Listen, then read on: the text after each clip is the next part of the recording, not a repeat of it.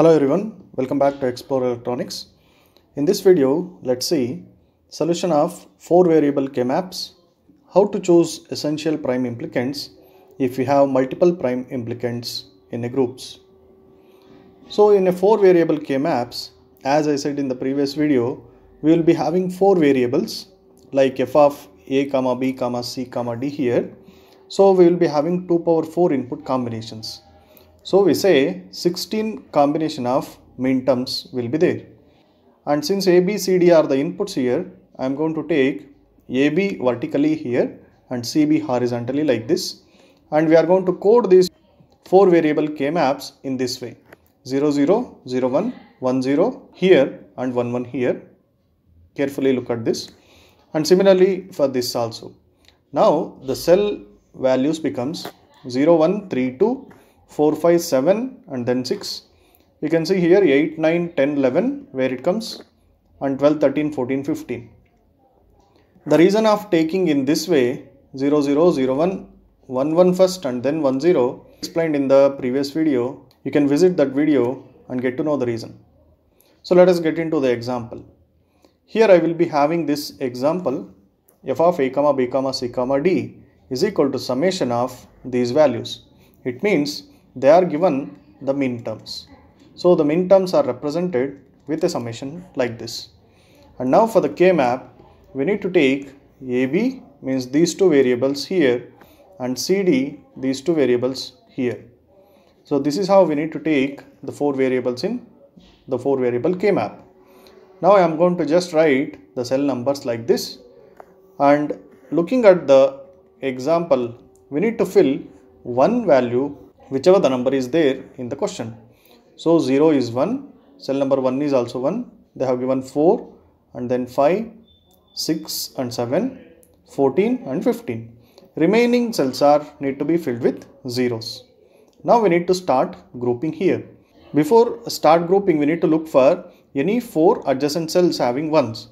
So here we will be having 4 cells with 1s adjacent cells. Here we will be getting one more group with 4 adjacent cells having 1s.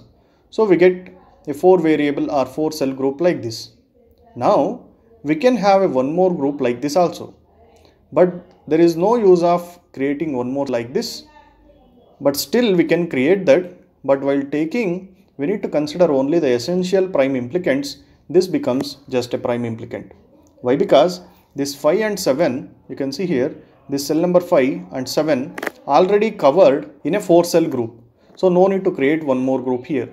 No one is left out after creating these two groups.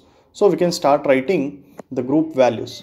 So for this green group as we know if you look at the values here it is A is 0 here also 0 B is changing from 0 to 1 we can neglect B and we can write it as A for this. Similarly here C is 0 here also C is 0 it becomes C bar here also it is A bar and D is 0 here changing to 1 so we can neglect that D. So it becomes A bar C bar for this group. So this group is now A bar C bar. Now this blue group giving the values like here you can see C is 1 1 so I am going to take C and D can be neglected it is changing. Similarly here vertical variables 0 to 1 A is changing. We can neglect that. 1 and 1 so it is B. So this group gives B and C. And we can neglect this group. Even if you do this group you are going to get A bar B and that becomes a prime implicant. So we can neglect that. So now the expression final expression will be A bar C bar from this group plus BC from this group this will be the final expression. Let us take one more example. Here we will be having different values you can see after the summation. Let me fill out those values in the cells. So 0, 2, 5, 7, 8, 10, 13, 15. Now remaining cells will be filled with 0. Now how to group this? Here in the center we will be having 4 cells with one value means we can create a group here. So let me create that group first. Now all the corners will be having 1 do we have adjacent value for this one? Yes, we have. So for this one, for this one, we can select this as adjacent value. Similarly, for this one, again, this becomes the adjacent value. For this one, this becomes the adjacent value. Now, we can create a four cell group here also by considering these four like this.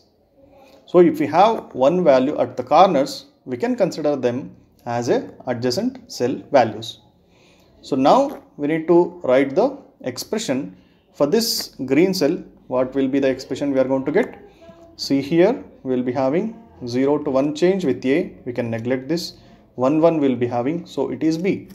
Similarly here, what horizontally we will be having C as 0, it is changing to 1. We can neglect this C and D value will be 1 1. So we are going to get D. So B and D, B into D will be the expression for this cell. Now for the corner group 1 1 1 1 we have grouped with the blue mark here. For this we need to carefully consider here. So this group is again will be uh, consisting of this value, this value vertically and this value and this value horizontally, right?